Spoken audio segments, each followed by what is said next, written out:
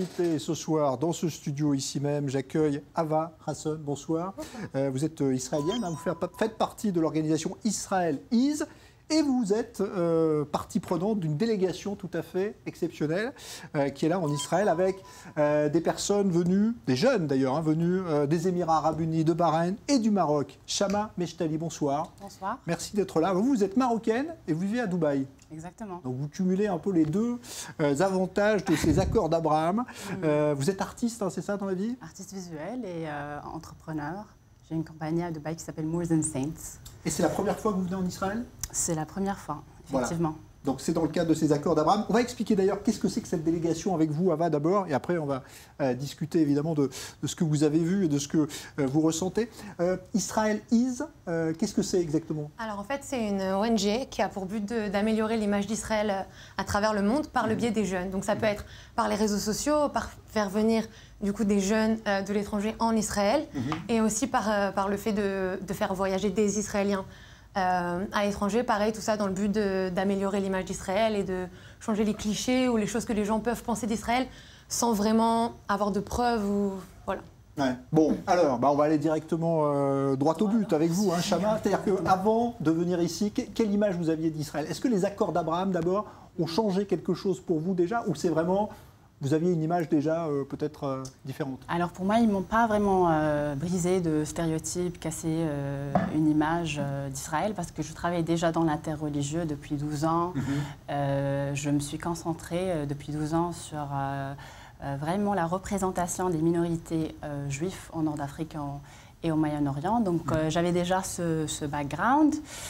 Euh, sinon, je, il, faut, il faut déjà dire que ce qui m'a vraiment choqué après, euh, après avoir venu ici, mhm. c'est euh, ce, ce, sentiment de resilience, de, de, vraiment de, de résilience, mhm. chez, chez le peuple israélien, parce qu'il il y a déjà quelques semaines, euh, on, regardait euh, énormément de, vidéos euh, mhm. sur Instagram, mhm. sur Facebook et sur les médias, mhm. des violences et des tensions qu'il y avait ici. Et donc je ne me rendais pas vraiment compte de, de cette résilience du peuple israélien. Je, je, pensais que le peuple serait toujours traumatisé, et d'ailleurs des deux côtés.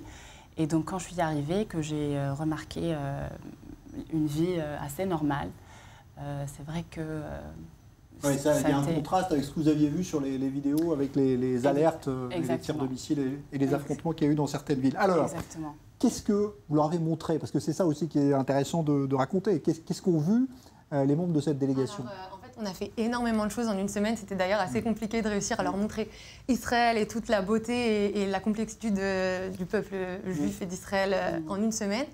Euh, on a été dans une yeshiva, on a été à Yad Vashem, mm. on a été dans le désert. Mm-hmm. Euh, on a visité la communauté euh, marocaine et tunisienne à Yerouham aussi. on a été au Kotel. vraiment, mm. c'était vraiment très riche et, très, très intense. Mm. Qu'est-ce que vous aviez envie de, voir en fait vous? Qu'est-ce qui vous intriguait ici? Parce qu'on entend beaucoup de choses d'Israël de l'extérieur, mais quand on y est, peut-être on se dit bah, c'est marrant, j'imagine pas ça ou je voyais pas ça comme ça. C'est le cas ou pas? Euh, oui, alors euh, je comprenais déjà qu'il y avait une certaine complexité, que le pays d'Israël et que les Juifs d'Israël n'arrivaient pas à bien montrer mhm. à l'extérieur. Et, euh, donc, bien sûr, je, connaissais l'histoire des Mizrahim, mhm. des Séfarades, qui ne sont pas très représentés en mhm. Israël ou aux États-Unis, chez les Juifs d'Amérique, etc. Et, et, donc, je voulais vraiment sentir cette culture et, et la voir de plus près. Mais sinon, je voulais aussi euh, demander aux gens euh, ce qu'ils pensaient, ce qu'ils pensent des affrontements du mois dernier. Mm. Je voulais aussi parler à des Arabes israéliens. Mm-hmm. Et euh, déjà, on a eu deux Arabes israéliens qui, qui faisaient partie de la délégation. Hiba de Haïfa et Ahmed aussi de Haïfa. Qui est Druze, exactement. Hiba qui est Druze et Ahmed qui est arabe israélien. Et bien sûr, ça nous a montré un petit peu plus de, euh, de complexité de la société, de la société israélienne. Et, euh, et, sinon, il faut aussi dire que euh, notre expérience avec cette délégation a été beaucoup plus, je pense, ashkénaze. Mhm. Et ça manque un petit peu de, de, de, culture marocaine, tunisienne, etc. Orientale, orientale alors c'est un terme, un problème, mm, mm. mais euh, ça manque un petit peu cette, euh, cette complexité euh, des pays, pays de l'Est. Je trouve dommage parce que à l'extérieur et même dans les, lieux, dans les milieux progressistes américains ou canadiens, européens, on va dire, il y a cette image que le peuple israélien est juif et un peuple euh, de collants mm. qui s'est installé ici au Moyen-Orient euh, euh, sans lien historique, mm-hmm, etc. Mm-hmm. Alors que ce n'est pas le cas parce qu'il y a quand même une grande partie de la communauté israélienne qui a des liens historiques mm-hmm. dans cette région. Euh, et, je trouve que c'est dommage parce que quand on ramène des, euh, des, Arabes, on va dire, ou des gens de, des pays arabes qui viennent ici pour briser euh, des stéréotypes, c'est beaucoup plus facile de, de mettre en, valeur ces, similarités, ces similarités. J'arrive plus à parler parce que. bon, vous avez c'est bon.